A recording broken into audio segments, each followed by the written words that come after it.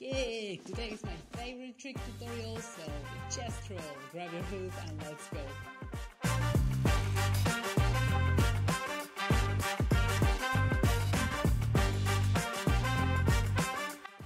From this joy, I didn't introduce myself, so hi, I'm Kafri and this channel is about hula hooping. And this is the chest roll, which I'm going to show you now how to do. So, at first we'll begin with the entrance. So you want the hoop to enter your arm between your thumb and pointing finger. So practice this one maybe by doing this little hand roll, like the palm of your hand roll. Okay, so you want the hoop to enter between your thumb and pointing finger and just roll on the top of your hand. You can catch it with the other hand, it doesn't matter at this point. It's just to, you know, get the sensation of the hoop rolling on your hand. You don't want to throw it up, okay?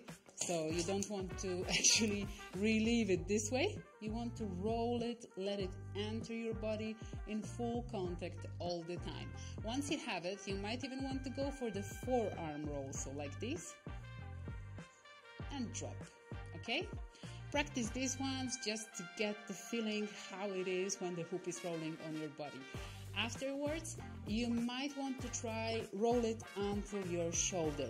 The final movement through your chest to the other shoulder will, will require creating a path from your body. And also a super important tip, which was given to me by my friend, and it was like a game changer in all body rolls, was that once the hoop enters your body, you want to exhale all the air out. So prepare your body. Move it a little down with this exhale and create flatter surface on your chest. But in general, it works for me with all the rolls, so it's not just about the chest roll. Okay, so once you are ready, you want to swing the hip on the side, let it enter between the thumb and the pointing finger, and roll until your shoulder. If you are ready, if you feel like you are not afraid about doing this, try to bend a little towards the back, but I'm not saying any super back bend, nothing like this. Just slightly bend, open your chest a little, exhale, and create this path for your hoop, okay? I have this tendency of over straightening my arms in the chest roll. So I'm trying to create this little rounded position in here just not to overdo it. Anyway if I'm in my flow I do it like this.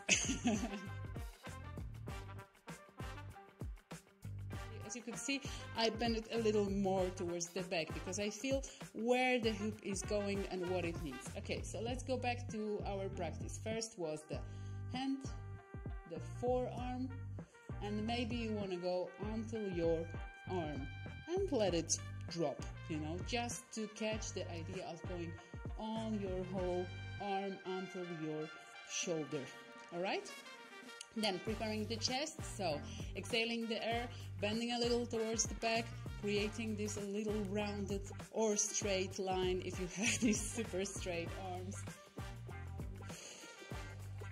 And letting the hoop roll all around through your chest, okay?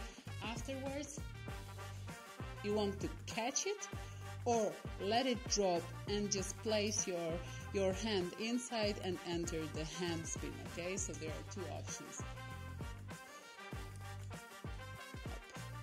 Okay? Now, let's go into the resume part, which is super important and I'm really asking you to watch it. Chest rollers, why is it so important that you stay for this part? Because if I would like to fit all the info in the tutorial part, it will probably be gone by now, okay? So, you can go from both sides, right to left through my chin, and from left to right, okay? Then, the entrance, as I told you, it is like maybe the easiest way to enter between your thumb and pointing finger in the beginning, although some people teach to enter between the pointing and middle finger like this, so you can also try it out. Hop. And there is also this third way, which is you turn, you switch the, the hand like this, and you enter by pushing it with your pointing finger like this, so here, okay? Let's try it out now. Okay, for me, the best way would be to between these two fingers, but try it out and check out which one works for you best, okay?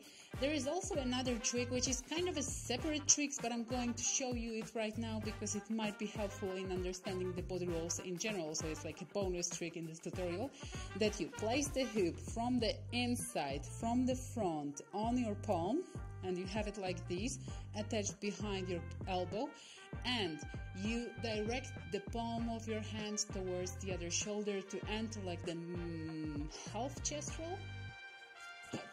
Oh I didn't enter the second arm. Let's try it again. Up. Okay.